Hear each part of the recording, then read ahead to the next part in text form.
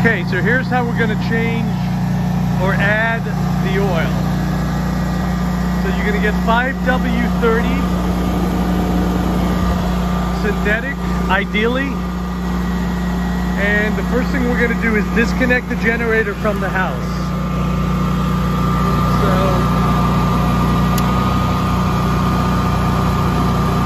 we just disconnected the generator from the house. Gonna open the top.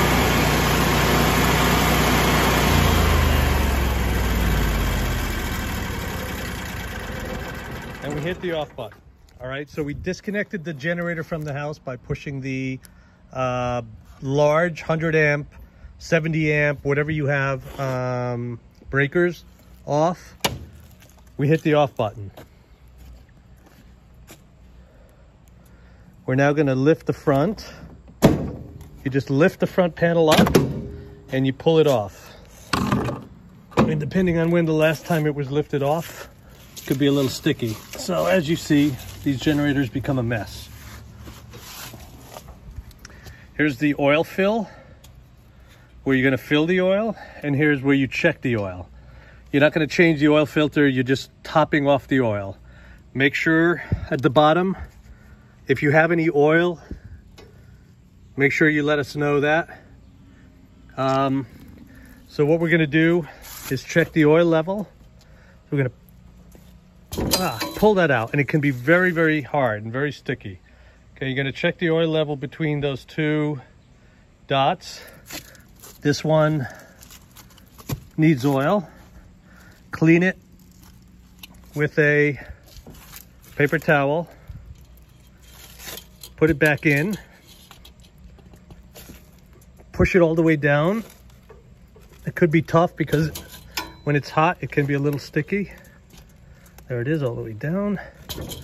Pull it up and we see that we are low on oil. We're at the lower we're at the lower dot. So we're going to add oil here. Really important not to add a lot of oil. Let me say this again. Do not add a lot of oil. Let me say this one more time. Do not add a lot of oil. Okay? Half a quart at a time. And then check the dip swit, uh, the dipstick and um, check your oil level. But half a quart at a time is all you need. Okay, if your generator turns off because you are uh, low oil pressure, that means you're out of oil. You're gonna come here, you're gonna hit off like we did. You're gonna add your oil. You're gonna hit enter twice. Enter, enter. Okay?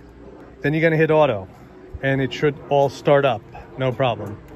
Um, I'm gonna now add oil to my generator and call us if you have any problems. Remember, call Adam's cell phone for any technical issues. Thank you.